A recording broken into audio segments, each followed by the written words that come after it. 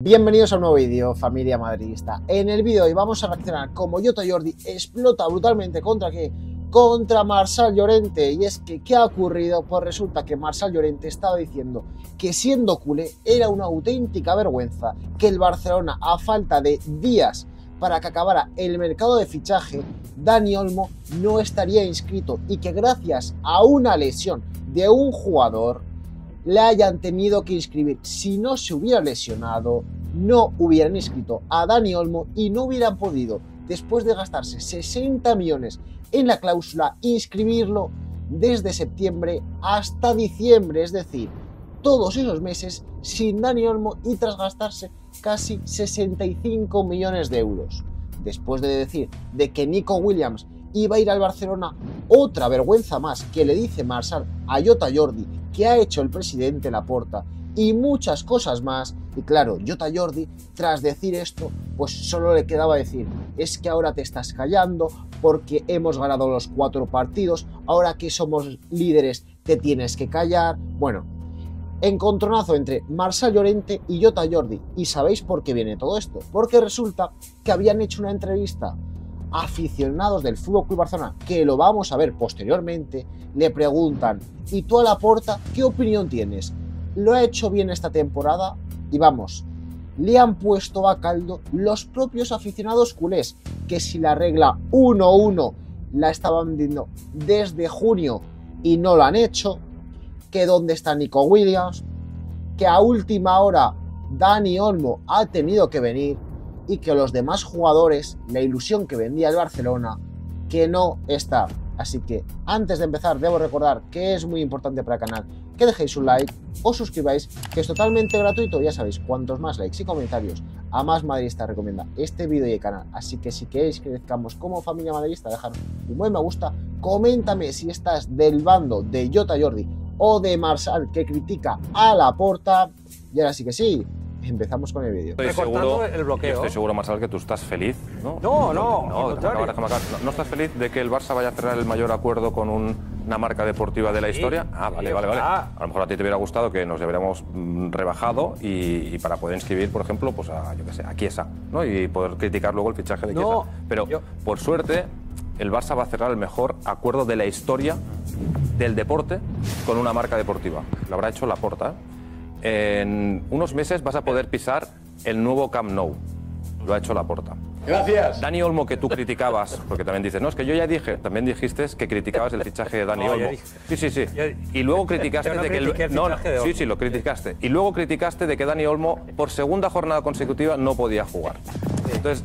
Dani Olmo está jugando en el Barça. Sí, pero está marcando goles. ¿Quién lo ha fichado? A mí me parece. Pregunto, ¿quién lo ha fichado? No, a mí me parece. Yo te he escuchado a ti. Te contesta, ¿quién lo ha fichado? déjame hablar. Sí, no, luego te escucho 10 minutos. no, el Barça no, lo ha fichado la No, no, Ah, lo ha fichado el Barça. dinero de su bolsillo. Vale, lo ha fichado el Mira, si no llega a ser por la lesión de gravedad de un compañero que pierdes un efectivo, no inscribes a Aval, aval. ¿A, ti te, ¿A ti te parece que es una buena planificación? No, espera, no, déjame hablar a mí.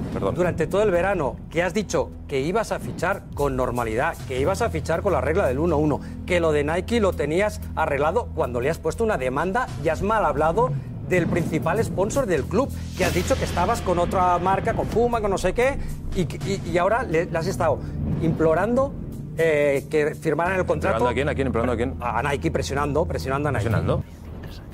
No, yo decía eso, que, a mí Olmo me parece un gran fichaje, pero fue Laporta quien en la última entrevista dijo, tenemos que fichar a un pivote defensivo y a un extremo izquierdo.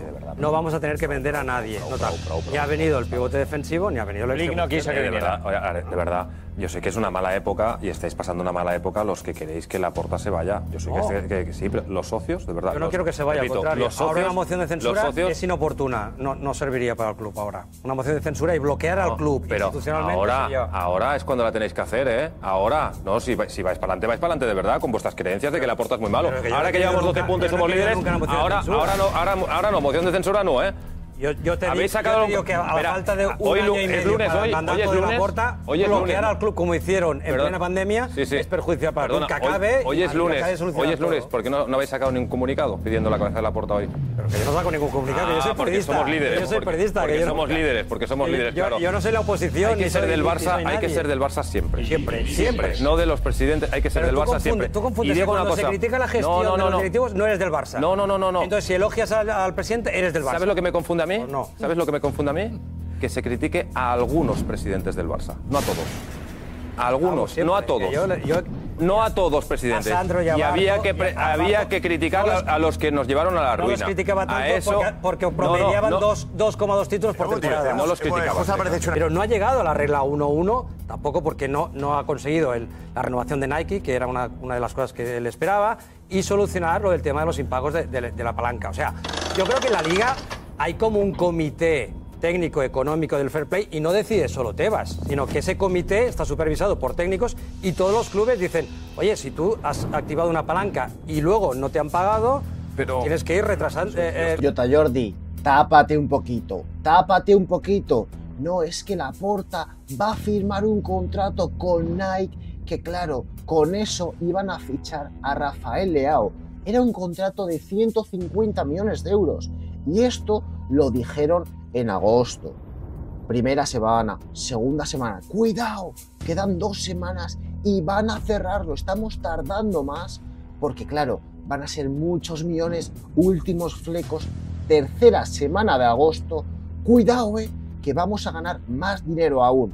Cuarta semana de agosto finaliza el mercado de fichajes y tantos fichajes que iban a hacer tras el acuerdo de Nike de renegociar, porque hasta 2028 estaba firmado el Barcelona con Nike, ahora nos encontramos que no han fichado a nadie, no estaban en la regla 1 a 1 porque no han firmado el contrato, pero ahora nos intentan vender por parte de Jota Jordi, que es amiguito de la porta, que resulta que ahora van a firmarlo. ¿En qué quedamos? ¿En que era en la primera semana de agosto?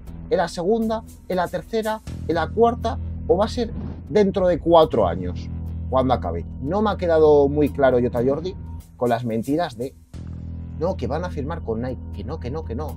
Que me digas cuándo va a firmar con Nike, que ya de primeras no has podido escribir jugadores. Y encima da gracias que un jugador que habéis hecho la triquiñuela de que era un mes de lesión y la habéis puesto para cuatro con los médicos, para poder inscribir a Dani Olmo y jugar la tercera jornada de liga. Y aquí no queda todo esto. ¿Por qué venía el enfado de Jota Jordi y Marsal? Había estado hablando y estaban viendo en vivo y en directo cómo José Álvarez va a Montjuic Campo, que juega al Barcelona, y le hacen entrevistas a los socios. ¿Y qué dicen los socios? ¿A favor o en contra de la porta? Pues bien, el 95% de los socios tristes y cabizbajos, enfadados con la porta. Así que tanta ilusión que está vendiendo Jota Jordi, de los fichajes, de que son líderes, los aficionados del Barcelona y socios, que son los que pagan y van al estadio, no están nada satisfechos. Escuchad lo que dicen y cómo se enfadan con la porta. vergüenza es una vergüenza lo que ha hecho este mercado de fichajes, solo llevando a Dani Olmo. No se ve potencial en este club.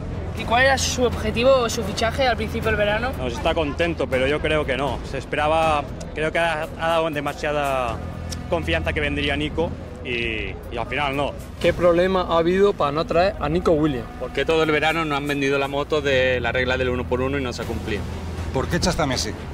¿Por qué Messi se tuvo que marchar del Barça? Preguntar por qué ha comentado tantas cosas de, que si estaríamos perfectos en la regla 1 a 1, que si ha prometido bastantes fichajes, en qué se basaba en todo ese positivismo. Yo le preguntaría que cuándo estará el estadio, cuándo podremos ir al estadio. ¿Cómo ve el club la temporada? ¿Qué, cómo ve la temporada? ¿Sí que va a ser una buena temporada? O... Le preguntaría cómo ve el, el vestuario, si hay equipo, si hay compañerismo si podremos pagar el estadio. Que si es verdad todo lo que vende o, o qué intenta hacer con nuestro club. ¿Qué, ¿Qué va a hacer con el club?